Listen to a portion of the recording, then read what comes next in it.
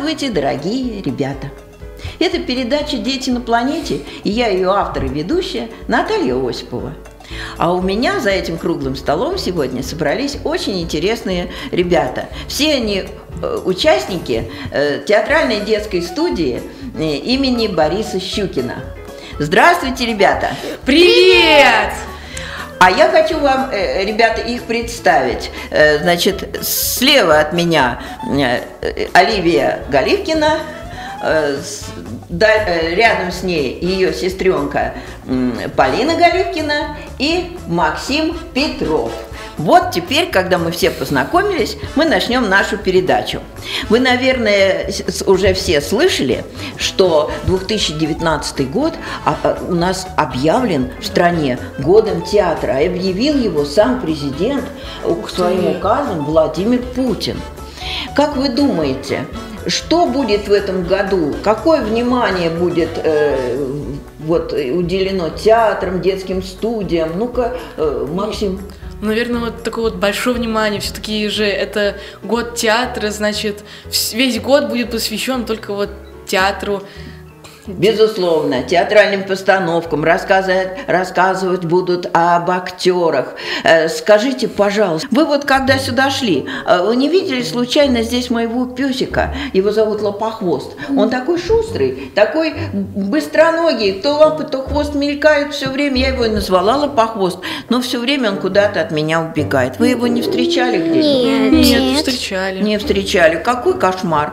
Вот э, опять сегодня утром с ним гуляла, потом вот на минуточку отвлеклась приготовиться э, к нашей передаче, смотрю, он уже куда-то убежал. Где он? Лопохвост, давайте позовем. Лопохвост, ты где? Ты где? Лопохвост, ты где? Передаю вам пламенный, горячий привет из самой Германии! Вы знаете, меня всегда интересовал вопрос – а умеют ли мальчишки и девчонки в разных странах говорить на русском языке? Или по-русски говорят только у нас в стране? я отправился в город Нюрнберг, в русский центр.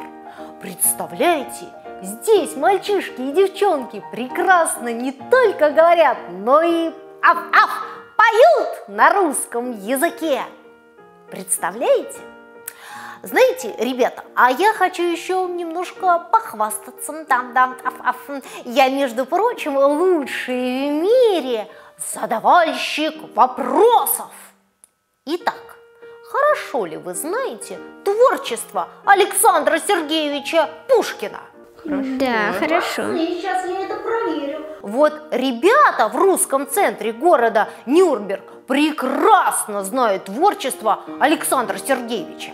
Итак, речь сегодня пойдет о сказке о рыбаке и золотой рыбке. Скажите-ка мне, пожалуйста, сколько раз старик забрасывал невод в море? М-м? Ой, даже, даже я затрудняюсь такое вспомнить. Кто из вас, ребята, помнит?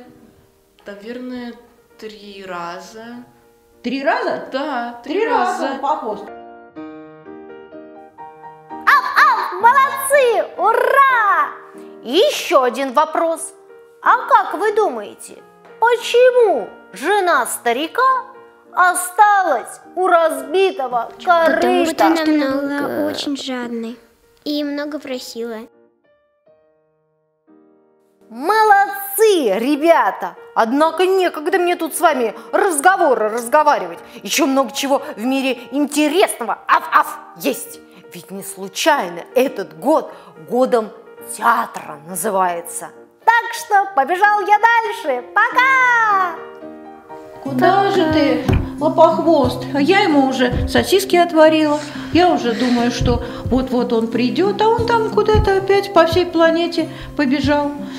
Ой, ну ладно, пусть себе бегает, проголодается, найдет дорогу домой. А мы здесь тоже неплохо с вами проведем время. Знаете, что я предлагаю, ребят? Раз это год театра, 2019 год, давайте разыграем какую-нибудь э, небольшую историю. Давайте. И для Давайте. этого я вам Давайте. отправила заранее такие небольшие э, костюмчики, и я предлагаю их вам одеть. История это будет про двух собак. О, готово, как вы быстро все, все у меня делаете. Вот уже и Максим готов. И вот уже и девочки. Итак, начнем. А лапки мы покажем сейчас нашим телезрителям. Ребята, я начинаю небольшую историю, и вы мне поможете ее разыграть. На старой автомобильной свалке жили-были две собаки. Одну звали Альма. А вторую звали Ника. Тяв-тяв. Тяп-тяп, да. Альма когда-то очень давно потерялась в электричке и с тех пор жила на автомобильной свалке, но она всегда искала своего хозяина. Гав-гав. Хозяин, я здесь. А хозяин тебя не слышит. Ну-ка давай хозяина позовем. Хозяин, я здесь. Хозяин, здесь Альма. Ты долго его ищешь? Много лет? Да. А Ника, у тебя был хозяин? Нет, а зачем он нужен? Лечь, встать, фас, фу, свобода, вот мой хозяин. У Ники никогда не было хозяина. Она здесь, на свалке, и родилась. Так и жили две собаки, жили дружно, вот только бегали по всей округе и искали себе пропитание. И часто оно не находилось. То кусочек колбасы кто-то бросит им, то косточку найдут, а иногда что? Ничего не находилось.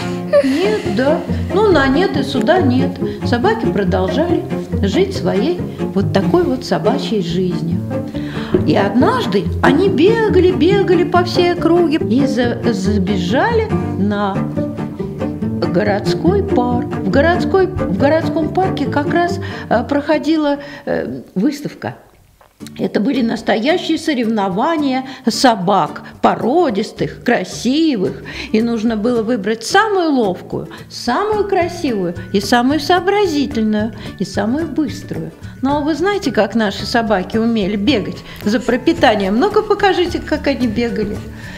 И вот каким-то чудом собакам удалось оказаться в этой толпе породистых псов.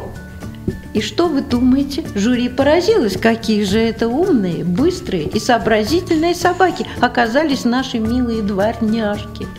И вы знаете, самый главный приз, который предназначался собакам, победи, победителям, достался им.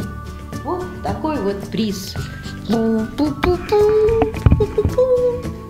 Вот такой приз получили собаки. А члены жюри подумали, что хозяин куда-то отлучился. Собаки взяли приз в свои лапки и убежали. Дома на автомобильной свалке они рассматривали приз и увидели в нем записку. А Оказ- Исполняю одно желание. Вот как? А кубок-то призовой оказался волшебным. Он исполнял желание, но правда только одно. Стали собаки думать. Что же за желание им загадать? Давай загадаем мягкие коврики, ошейники со стразиками и много-много собачьих консервов. Это, конечно, хорошо, но давай еще подумаем. Ладно, так уж и быть, загадывай своего хозяина. А как же ты? Перебьюсь. Вот как? Смотрите, какая ока- интересная оказалась э, задача. Нужно было э, так загадать желание, чтобы и Альме, и Нике было хорошо. И тогда что решили собаки? Давай сделаем так, чтобы всем было хорошо. Вот сделать так, чтобы всем было хорошо, было непросто. Но собаки, вы представляете, додумались. Они загадали приют для бездомных животных. Вот действительно, это место, где хорошо всем. Всем бездомным собакам, всем бездомным животным, и по мановению волшебной палочки как, случилось чудо. Вырос при, вместо свалки приют. Назвали собаки его Лопохвост. И первые посетители тут же потянулись к приюту. О, вот такая собачка пришла вдруг. Ой, смотрите, какая хорошенькая. А приют какой симпатичный. Там чего только нет, там даже кроватки. Ой, какая прелесть. Вот такой домик вдруг появился в городе. И собаки, конечно, стали в этом приюте жить, поживать. Вот и получилось, что для всех было хорошо. А однажды случилось чудо. Когда собаки уже почти спали, вдруг раздался вечером стук. Кто там? Скажите, это приют? Да. Н- нет ли здесь моей собаки, Альмы, потерявшейся в электричке? Хозяин, я здесь. Альмочка, я уже не чаял тебе найти. А как прочел в интернете о приюте, сразу сюда. Таким образом, Альма нашла хозяина. Вот ведь как в жизни бывает. Делаешь для, хорошо для всех, а получается радость и для тебя. Хозяин, увидев подружек, конечно же, решил взять сразу двух собак. Не разлучать же их, они столько времени провели вместе. Так закончилась эта история.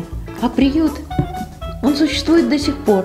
Вы можете найти его в интернете и попросить родителей прийти туда и, может быть, найти для вас четвероногих друзей. А наша передача подходит к концу. Мне очень было приятно, ребята, что вы пришли и помогли мне рассказать эту историю. Спасибо вам большое. До новых встреч!